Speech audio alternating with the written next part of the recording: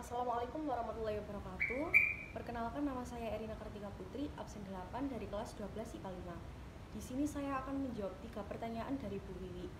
Pertanyaan yang pertama, bagaimana perasaanmu selama pembelajaran seni budaya semester 1? Perasaan saya sangat senang karena pembelajaran seni budaya tidak hanya dilakukan di dalam sekolah, melainkan di luar sekolah seperti acara studi kampus di UNESA dan dilanjut dengan menonton tarian-tarian tradisional dan juga mewawancarai para penari dari berbagai kota. Pertanyaan yang kedua, manfaat apa saja yang saya dapatkan selama pembelajaran seni budaya semester 1? Saya dapat mengetahui cara pembuatan artikel dengan baik dan benar dan juga mengetahui tentang berbagai tarian-tarian tradisional yang ada di Indonesia. Masukan atau kritik saran yang akan saya berikan kepada pembelajaran seni budaya.